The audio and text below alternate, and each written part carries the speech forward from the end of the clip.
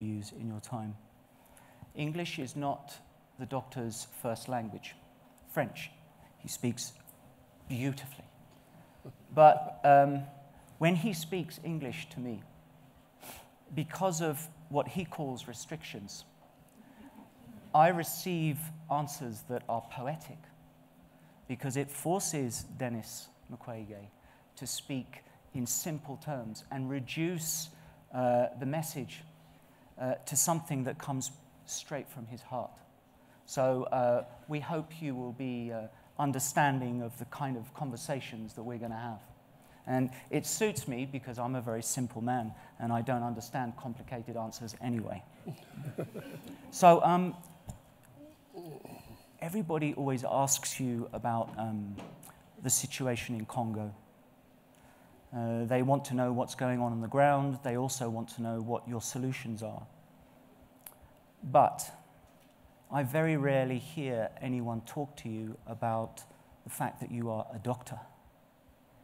Um, many people never dare discuss the fact that you are there when a, a young woman arrives at the gates of your hospital injured and you examine her. Many people are not aware that uh, you are also there as she is being prepared for surgery. You are also the person that performs the surgery and heals her flesh. And you are also the person who she sees first when she wakes up. And then, even when perhaps her body has healed, you are the one that helps her heal her soul. So, I wanted to ask you something about the intimacy of connection. When a woman wakes up after surgery, what would she say when she sees you? thank you, Platon, for this question.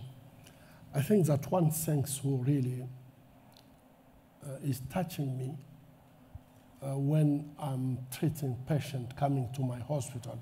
Most of them, when they come to the hospital, they are in really a very, very bad condition. To spend weeks, sometime months in the bush, be raped by many gang rape. So when they come to the hospitals, they are in a very bad condition, and sometimes some of them need to go through operation. And uh, I've seen many women uh, when they come to the hospital. Just my feeling was how she will succeed because she, she's in a very bad condition, destroyed and uh, I was wondering if, even if we treat her, how she will cope with the situation she went through. And most of the time, when I make this sometimes difficult operation, can take me six, eight hours sometimes. I was so touching to see that women, when they wake up, they're not wake up. When they wake up, it's not for, for themselves and when you, they ask the first question is, how is my child? How is my husband? How is my family? And this is really so touching for me because I use also to treat men. And I can see that when men wake up, the question is, how ends the operation? What is my future after this operation? Women are thinking more about others instead to, to think about themselves. And for me, I think that really this is so touching me and pushing me to, to try to do as much as I can for so, women in my hospital. So, um, we've talked a lot about the difference between men and women. And there's been much discussion around the world these days about this incredible new movement that, uh, of, of, women's empowerment. Um, there's a, a, scene in the film, which we won't show because I want to talk to him, but uh, there was a scene where I went into a jail uh, and I photographed men who were accused of extreme sexual violence. And the policeman uh, let them out of their jail cell for a few minutes so that I could do this picture because I wanted to see that side of the story. Otherwise, it remains a mystery. And of course, when the man sat in front of me,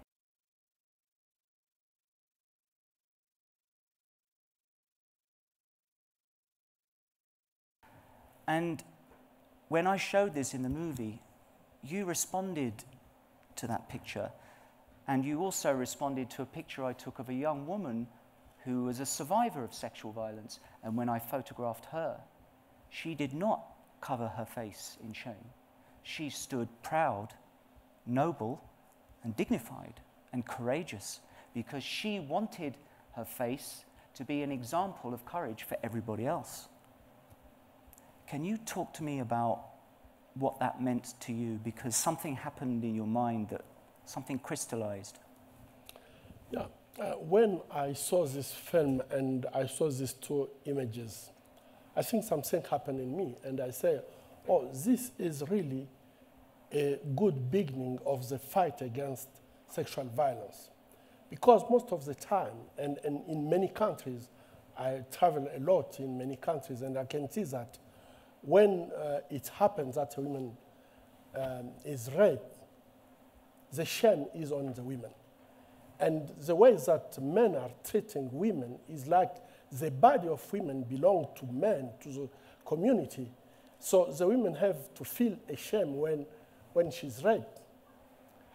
And this is a way also uh, is keeping rape in our society because women can't talk um, freely about rape because they know that uh, the consequence will be to be excluded, maybe sometime to be killed. Uh, the crime of honor exists in some, in some places in the world. So it's very dangerous for women to talk about rape. Even, even if they are victims, they can't talk freely about what's happened for them.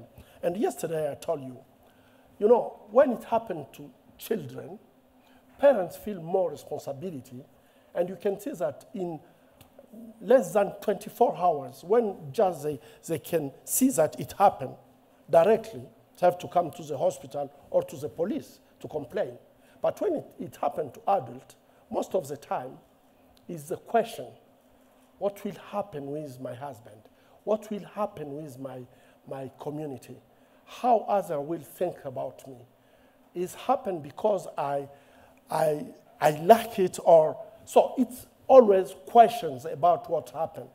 So women are suffering for the social norms. And these social norms bring that women have feel ashamed when it happened for them. But there I saw one thing wonderful. To see that men hide his face and the victim stand up and talk freely to say, it happened to me. It was a bad thing. They tried to destroy me, but I still alive, and I love even my, my child. And this is a courage to that we can shift the same, the shame from women to perpetrators. But we have to work on it so it can happen everywhere. So, in normal leadership ideology, we think that um,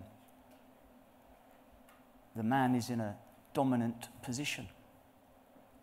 Uh, and in that picture, the male and female role was reversed, and also the, the victim and the victor was reversed. Exactly. Um, so this leads me to a, a, a question that people ask me a lot with the new uh, movement for women's empowerment, particularly the Me Too movement, um, how should men behave now? Many people say that men are concerned. They, they are uh, a little anxious. They don't know, maybe they shouldn't be so confident. Uh, how should they respond to women in the workplace? What is the role of a man? And some men say they might be threatened by this uh, women's empowerment. We talked about this yesterday, and you said some amazing things. But what, what, what do you think about that? Yeah, I think that what is keeping rape in our society is silence. Because when uh, rapists know that women will never talk about it because she will face consequences of what happened to her. So I think that women will just keep silence, but in silence she can be raped again and again. And in this condition, she can't also protect others against this rapist because he can do it with other in, in the family or in the, in the society. So silence is really a strong tool for rapists to use for they can go on destroying girls and women. So to, f- And- to fight the system, silence is one of the most important. And I think that when really we can give um, the word to women to be able to talk about what happened to them, I think that this will be, and it's a strong tool because there, all men before to, to do a rape, he will think twice because he knows that it will not be a secret. It will happen. and The women will talk about it. And really, I think that men don't have to feel that uh, it's a threat. I think that many men are not rapists. Most of men are not rapists. It's just a small number of men who are rapists. And this small number, I think that they are protected by the other men who are not rapists. You can see the solidarity of men when it comes to rape. Men are always, uh, what he say, soldier to other men. And I think that the only one way to move and try to end sexual violence is really to give women the possibility to talk and to don't be victim because they just denounce when it happened. And this, I think that, for example, the movement Me Too or Break Silence and so on, all this movement we should really, we men, we should be behind and just support because I know that all the men are not rapists and it's a way to create a new way to see. I can say it's a positive masculinity and we have really to ban the uh, masculinity, uh, dominant masculinity, who are just putting to say that men are completely, uh, mm, they are not equal to men, to women. I mean, I've never met um, someone who is as much a champion for women and women's rights as you, and you are a man. Um, and uh, you won the Nobel Peace Prize. So there are benefits um, for the men who are on the fence. Um, so, um, on a serious note, uh, let's go very deep into the human condition because you, again, going back to you as a doctor, a doctor heals. But you said something to me recently that really got me, and I actually teared up at the lunch table. And I tried not to do it in front of you, but I, I kept it inside because I'm a man. Um, I asked you about what happens in surgery when, and, and after surgery when a woman wakes up, and you answered that beautifully. But you said that sometimes you're not successful in the operation, and you can't fix the damage that has been done. Can you talk? I know it's a sensitive subject, but can you talk about that? Because there's a sensitive people here. This is a safe place to talk about the human condition. Yeah. You know, most of the victims I'm treating at the hospital are very young. And uh, talking with victims, uh, you, uh, you have to bring them to, to believe in you. And this trust is, Trust. is just coming very, very quickly with women at the hospital. And when I'm discussing with, with women, the big question, because when their, their genital is destroyed, sometimes they're linking, they can't get the control of their own body. And this is a terrible thing because they are excluded from their own community because they can't get the control of their, their body. What do you feel like Yeah, when you can't succeed? Exactly. I, I'm coming to, to this. And uh, when, before to make the operation, you know that uh, this uh, young girl was destroyed, so she didn't get really her childhood. And she asked you, doctor, what will happen for me?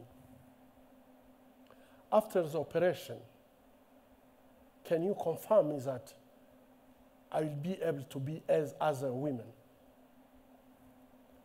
Or can you tell me if I'll got children after this operation? And when you are operating, sometimes you can face a, really a big problem that you have just uh, nothing to, to make this reparation so she can recover her femininity. I can tell you that for me, it's a torture. As a surgeon, when she wake up, and I have to tell her that it was not possible to fix, for example, the continence, because all the urethra was completely destroyed. And just know that I'm telling her that you didn't get your childhood and you'll never get your femininity. It's terrible, not only for, for the victim, but also For you. for me, Um, because I can just be in her position and feel what she's feeling to see that her life is completely destroyed by someone who lose his humanity in the way to treat her.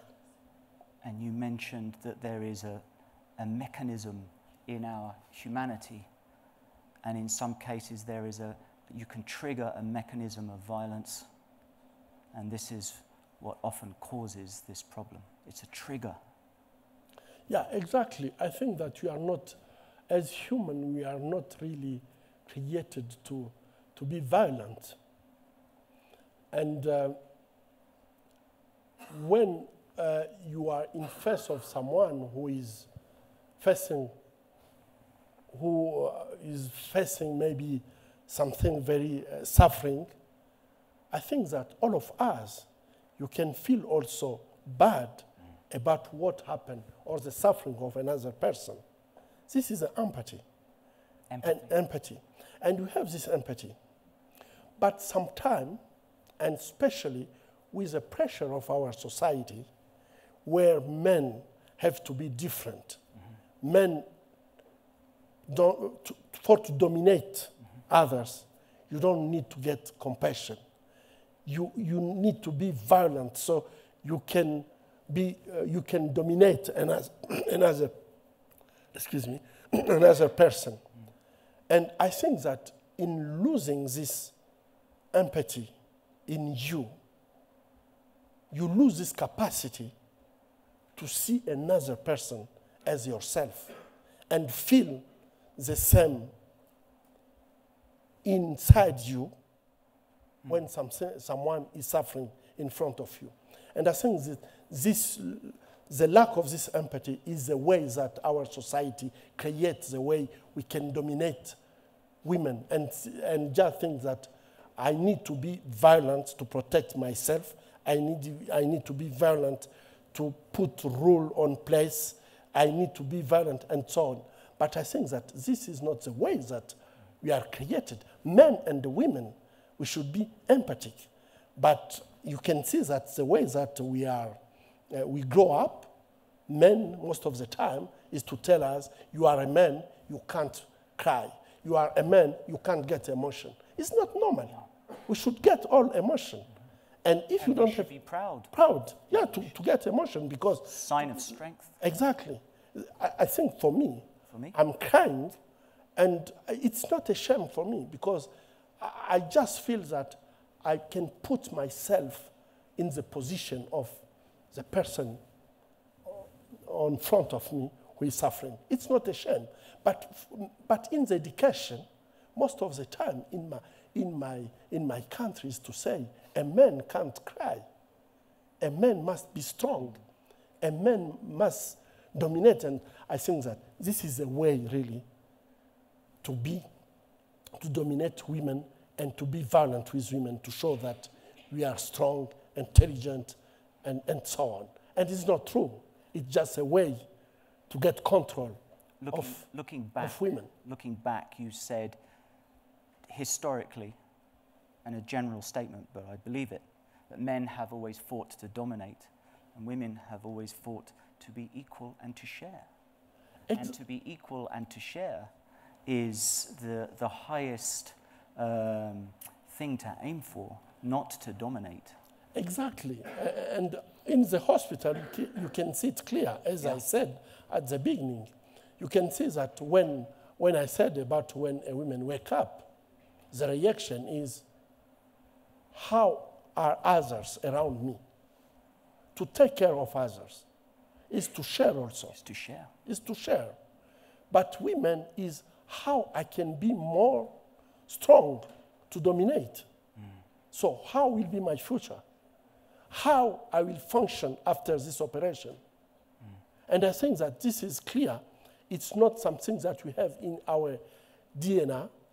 It's creating by the social norms for only Violence in culture, exactly. video games, TV. It's like this Exactly. sort of glamorization of violence as well, and masculinity. This forced masculinity. Toxic masculinity. Toxic. masculinity. Toxic, See, exactly. he's, I told you he's poetic. Um, so we, we're running out of time. I could talk here in front of these amazing people for hours, um, but uh, we, we're running out of time. So um, I want to ask you one last question before I get in big trouble with my friends at World Economic Forum. Um, you once said a word to me that was reparation. What does that mean? Yeah. Uh, I want to say that uh, I travel uh, in many countries where the war happened. And um, talking with women, I think that one thing that I found is that maybe they can access to the treatment. But the big question is the reparation. And this reparation is, for me, a way to get the healing for victim of sexual violence. It is to be recognized by the community, by the society, that we were wrong to don't protect you. So we need to do a reparation for our lack of protection. And I think that in many countries, this discussion is really a very big discussion because even countries eh, don't want really to do this reparation. And I know that in the country where there is a war, women should be protected. And if it don't happen, I think that all of us, we should take responsibility because we have this responsibility to protect each other. And when it don't happen, we need to do this reparation. But it's so hard to get it. And I just want to make a call. My organization is working now to get a global fund for the, a global fund for reparation. It don't uh, care if uh, women come from Africa or Europe or America. I think that the reaction of women are the same when this happen. So we should get a solidarity with the women around the world and create this global fund for if the government or the one who did this damage can't do it for a, a reason or another, the world should be uh, get this solidarity to make this reparation. And when we talk about reparation, many people have impression that reparation is, is to distribute money. No, when I got discussion with women, I was so surprised to see that for many women, reparation is only some time to ask that the leaders can just apologize for what happened. Reparation can be also for some women to, to build a memorial, to just say, this is enough. To acknowledge. A- a- to acknowledge and put it somewhere in a village or in a town to say, in this town, we don't accept again that women can be raped. And I think that this we can do it if we join our forces. Thank you. Thank you. Thank you.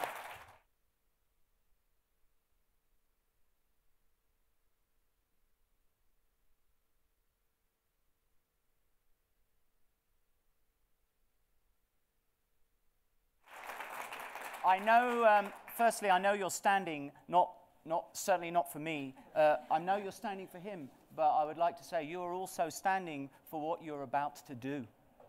That's why you're standing.